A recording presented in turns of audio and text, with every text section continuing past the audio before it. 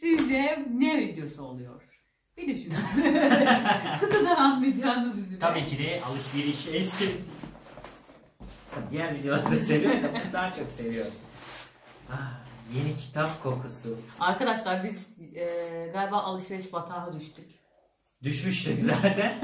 daha da çok düştük. Ama en azından kitap alıyoruz yani öyle düşünürsek. yani Bir de okuyacağımız şeyleri alıyoruz genelde. Tabii yani kitap yani nasıl denilir? Koleksiyonerler gibi. E, tabii mi? biz kitap koleksiyonculuğu yapmıyoruz. E, tabii Çünkü ki. ona gerçekten çok zor. Ee, aslında insan istese her şeyi başarabilir ama gerçekten çok bütçe gerekiyor yani. Ya bir de bizim Eren'le hep böyle e, sevgiliyken daha evlenmeden önce Evet. hayalimiz vardı. Evlenince böyle bir kütüphanemiz olsun. işte kitap alırız. İstediğimiz- istediğimiz- kendi istediğimiz istediğimiz kadar. şekilde düzenleriz odayı. Sonuçta e, e, aile evlerde yaşayınca evi istediğin Tabii. gibi kullanamıyorsun. Aslında burası ilk neydi? Ee, Gizem'in laboratuvarıydı burası. Evet ilk laboratuvardı sonra biz Evet. dedik ki kitaplar çok sayıları artmaya başladı. Laboratuvarda şu anda yapamıyorduk. Benim bir Evet. eğitim almam gerekiyordu. Onu alamadım koronadan dolayı. Ondan sonra biz de dedik madem madem kullanamıyoruz. En azından e, YouTube'da Gizem'le ben video çekiyoruz. Bari görsel olarak daha güzel olsun. Evet. En azından bir ayıracağımız bir oda olsun. Her şey daha, Daha güzel olsun. profesyonelce yapabiliriz. Ya böylece. elimizden Evet. geldiğince. Bir de arkadaşlar buraya geliyorsun o kitapların içinde kitap okumak falan. Ya o kadar benim Gerçekten hep çok hayalimdi gerçekten. Umarım Çünkü hepinizin olur. küçüklüğümden beri hep kütüphaneye gitme manyaklığı vardı bende. yani çok severdim öyle orada vakit geçirmeyi akşama kadar. O yüzden benim çok hoşuma gidiyor böyle. Seviyorum yani kitap almayı, okumayı benim hobim. O yüzden lütfen aşağıya çok kitap alıyorsunuz. Aslında kitap almak Şöyle yapmayın. Ben seviyorum. Ben buna para harcıyorum bir tek gerçekten. Benim için fazla değil. Yani o demek istedim. Tamam şimdi başlayalım. aslında kitap okumak hobi oluyor mu? Ya ben- bence çok Zevk işte yani herkesin zevki farklıdır. Benim zevkim kitap. Demek Aslında- istediğimi anladın mı? yani e, doğru doğru. O, olabilir. Evet. Kitaplarımıza geçiyoruz. Tabii ki de yine benim bir tane. Ama e, daha Ama çok okuyacağın kitaplar var içinde Eren. Tabii.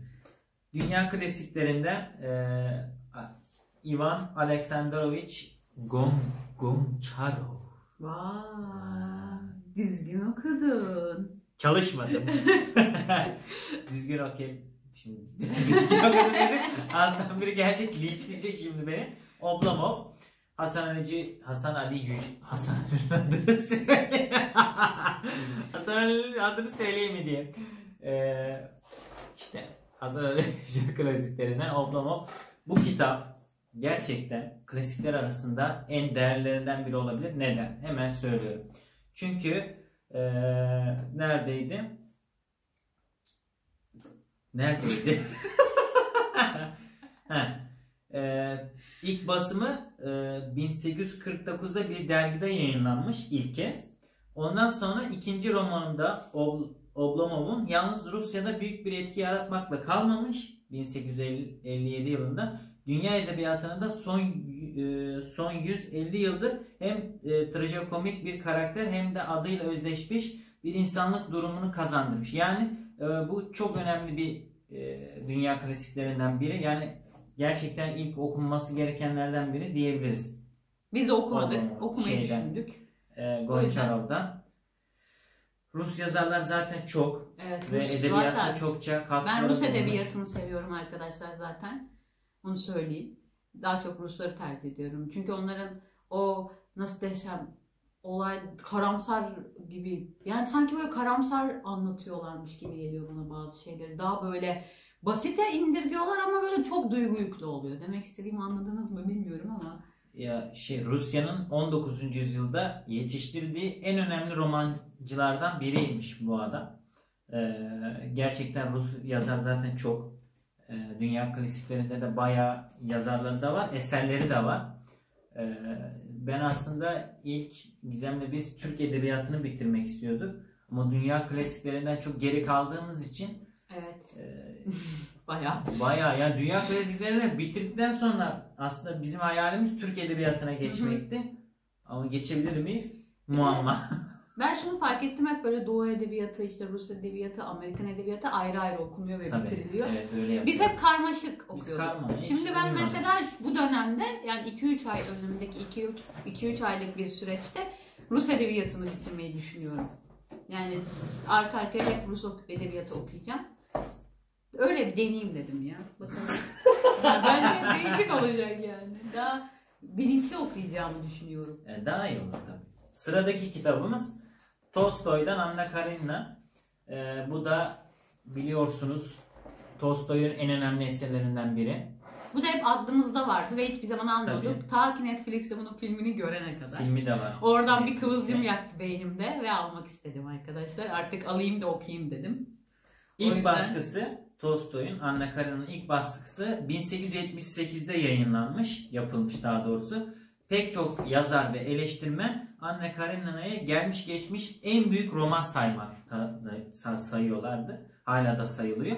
Yani çok önemli eserlerden biri Tolstoy'un. Zaten en önemli eserlerinden ilki galiba e, Anna Karenina. Gerçekten çok güzel. Filmini izlemeden önce bunu okumanızı tavsiye Ya ederim. biz öyle yapacağız herhalde. Ee, Çok güzel ilerliyor. Kalın olduğuna bakmayın yine tuğla niteliğinde bir kitap ama gerçekten çok güzel. Yani burasını da yamuk yumuk yollamış. Zaten kitap sepeti sağ olsun çok güzel yollamış. Yani her şuraya bakar mısınız? Adam burayı dişlemiş. Dişlemiş gerçekten. Şurası bakar mısınız? Eren açma bari yırtılacak. E yırtsın ha. Bir şey olmaz. Bu da e, söylemek ister misiniz? Yok ismini? yok. Dostoyevski. Abi Dostoyevski'nin şu e, Fyodor Mikhailovich Dostoyevski. Gerçekten diyecektim ki böyle güzel şekilde söylemeler var mı? Ben söylemiyorum da. Neyse Dostoyevski'nin Suç ve Cezası. Bilmeyen yoktur. Evet, Gerçekten ve okunması yoktur. gereken eserlerden. Çok ünlü bir eser. Kesinlikle. Ee, Ve neymiş? hep böyle üşengeçliğimizden okumadığımız eserler aslında bunlar. Her yani hep aklımızda bulunup ve hiçbir zaman okumuyoruz. Ya genel olarak insanlarda böyle bir durum söz konusu. O yüzden ben artık bu 2021 yılında bunları okumayı düşünüyorum arka arkaya. Her ay bir tane klasik okuyacağım. Suç ve Ceza Dostoyevski'nin bütün dünyada en çok okunan başyapıtı. Yani gerçek dünyada Dostoyevski'nin en çok okunan kitabı Suç ve Ceza'dır. Okumayan yoktur belki. Ee, vardır da azdır. Duyan olup okumayan sürü çok var. insan var. Biz de onlardan biriyiz. Suç ve Ceza. Evet. Ya gerçekten sıra gelmiyor. Yani insanın yani bazı eleştirilere eleştiriler şöyle oluyor. Kitap alanlara ve çok böyle büyük kütüphane olanlar. Bu kadar kitap alıyorsunuz. Ömrünüz yetecek mi bu kadar kitap bitirmeye? E, tabii ki de yetmeyebilir. Yarının ne getireceğini Ama kimse şöyle bir şey var. En azından ileride çocuğumuza büyük bir Tabii, kütüphane bırakmış oluruz. İşte onu istiyoruz biz aslında. Belki o okur. Yani bizim okuyamadıklarımızı o okur ileride. Ya, Ya, öyle düşünüyorum. Bir bırakılabilecek e, hani evlenirken nasıl bir kadına çeyiz yapılıyorsa bu da işte çocuğunuza bırakabileceğiniz en güzel miraslardan Bence biri aslında. Ve aralarına küçük küçük not yazıp ileriki zamanları bırakmak da çok doyucu. Sen çok film izledin herhalde. Ee, buyurun efendim. Bu senin kitabın. Ben bunun hikayesini anlatmak istiyorum. Bu evrenin üçlemesi olarak geçiyor arkadaşlar. Ben bunu ikincisiyle üçüncüsünü almıştım. Daha doğrusu aldığımı şimdi fark ediyorum. Çünkü okumak istedim bunu. Kitaplıkta duruyordu. Ondan sonra bir baktım ki bende 2 ve 3'ü var. Biri yok. Ondan sonra hemen tabii ki de birini aldım. Bu da arkasından hemen okuyacağım size. ilginizi çekeceğini düşünüyorum.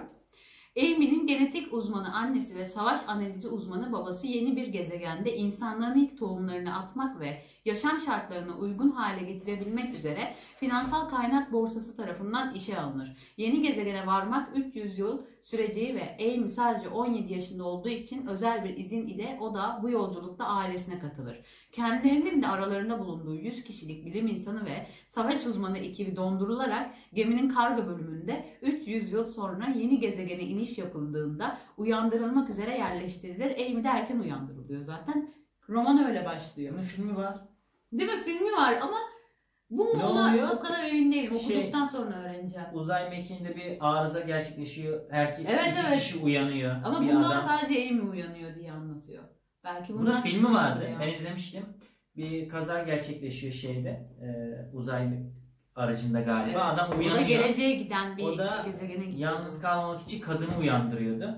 İnşallah. Ana, tamam filmi tamam. anlattık. Bence de. Ama onu bilmiyorum arkadaşlar. Betreyevit'in evren üçlemesi. Ya bilen varsa aşağıya yazabilir mi? Lütfen. Gerçekten merak ettim. Şunu Olur okuyayım. verdim. İhanet ettim kendime galiba. Filmi söyledim.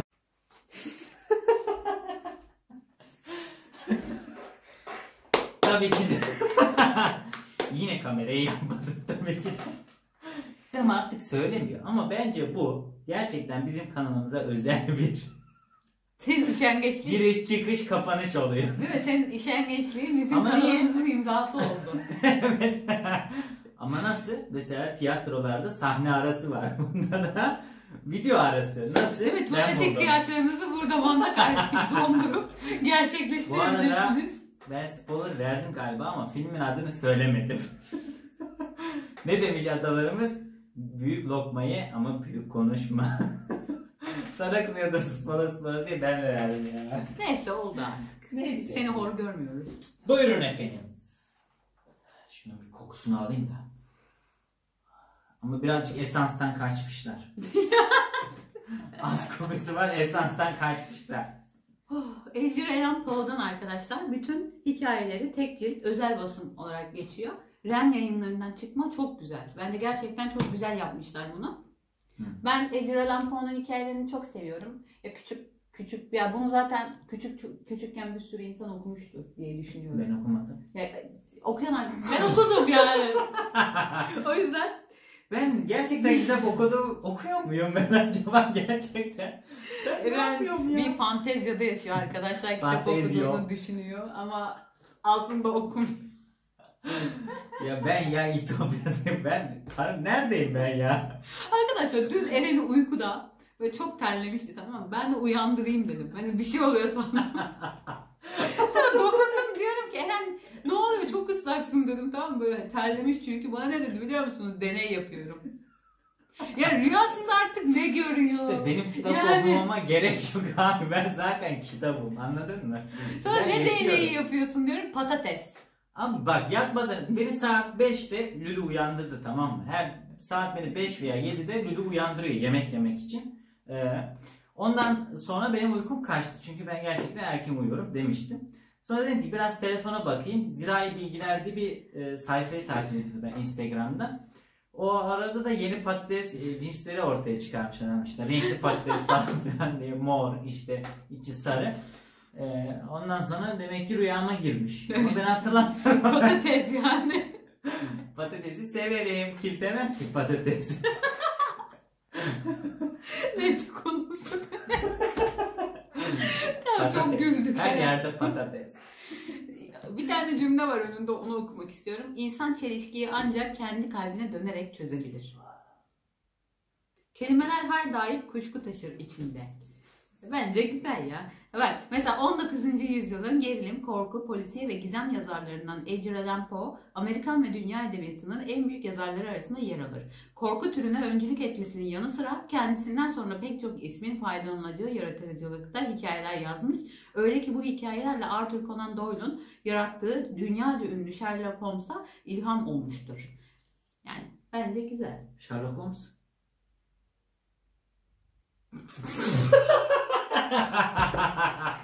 Sherlock Sherlock Holmes'u biliyorum. Sordun mu gerçekten? Sherlock Holmes yazar değil ki abi. Sherlock Holmes hikayesine Karakter işte. Bak diyor ki olmuştur. kelimeyi anla bak Türkçe derse ilk numaralı kural. Türkçe ismi. diyor ki yazarı yani Arthur Conan Doyle'un He şey. Sherlock Holmes tamam. karakterini Yine ben- yaratmasına yardımcı olmuş bir kitap. Yine ben tabii ki de beynimle değil patatesimle dinlediğim için seni şimdi diyemiyorum onu da. H.P. Lovecraft arkadaşlar bütün hikayelerini bulunduran bir eser. Alpha Classic'ten H.P. Lovecraft'ta arkadaşlar korku ve bilim kurgu edebiyatını ilk birleştiren yazar dünyada. Ben de hiç okumadım daha önce Lovecraft'ın bir tane hikayesini okudum. Yani hiç okumadım derken bir tanesini okudum. Sher- şeyi seviyorum ben. Stephen King'i çok seviyorum. Hı hı. Stephen King hayranları da genelde bu kitabı öneriyor. Ben de o yüzden almak istedim. Merak ettim. Bütün hikayeleri de toplanmış şekilde olarak satıldığı için hoşuma gitti. Bir de ciltli. Güzel kitap. Ben her zaman ciddi kitapları tercih ediyorum. Dayanıklılığı daha fazla oluyor. Tabii okurken biraz şuraları kavisten dolayı biraz yıpranıyor ama olsun yani. Hmm, O kadar arası hırpalayarak okumuyorum zaten. kopuyor ama. Buyurun efendim. Sonra yine Alpha Classic'ten bu sefer Lovecraft'ın Lovecraft'ın bütün romanlarını içeren bir baskı. Bu da çok güzel. Mesela Stephen King'in arkasında bir cümlesi var onu okuyacağım size. Lovecraft karanlık bir barok prensi. Şüphesiz klasik korku edebiyatının en büyük yazarı olarak hala herkesi gölgesinde bırakıyor. Sonra Neil Gaiman'ın sözünü okumak istiyorum. 20. yüzyıl korku edebiyatının birçok yazarının faydalandığı zemini Lovecraft inşa etmiştir. Baş kahramanları kadar lanetli olduğundan kendi dünya görüşünü kelimelere dökmüş ve bu da bir salgın gibi dünyaya yayılmıştır. Hepimizin Lovecraft okuması lazım. Çünkü o karanlığın başladığı yerde. Korku edebiyatını seviyorsanız, Stephen King'i seviyorsanız bence kesinlikle bunu bir düşünün derim. Çünkü zaten kolay, ulaşılabilir yani. Merak ettiğinde direkt bunu alacaksın. Bütün romanları kronik şekilde yazılmış yani. Benim hoşuma gidiyor böyle şeyler. Bir de görüntüsü de çok güzel. pat pat. Öyle değil. Heyecandan gitti ya. Fiyatlarını da söyleyelim mi? Ee, bu hediye gelmişti. Oblomov 17 lira. Ee, Anne Karenina 22 lira. Suç ve Ceza 12 lira. Hep e, Lovecraft. Lovecraft romanları. bütün romanları e, 62 lira. Bütün hikayeleri maşallah 91 lira. Edgar Allan Poe'nun hikayeleri de tek cilt 71 lira. Evrenin Ötesi 15 lira. Beni görüyorsun tasarruflu insan on- 15 lira. Bitmeyen Savaş 25 lira. Yine tasarrufluyum ben 25 lira. Paul Valery'in Stephen Zweig'in kitabı 0 lirası. Tamam bence.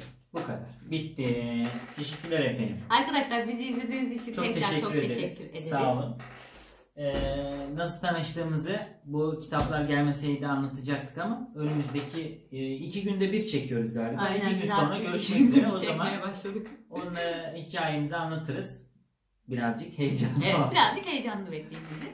Teşekkür ediyoruz. Sizleri çok seviyoruz. Kendinize iyi Görüşürüz. bakın. Bay bay. Allah sandalye uçuktu.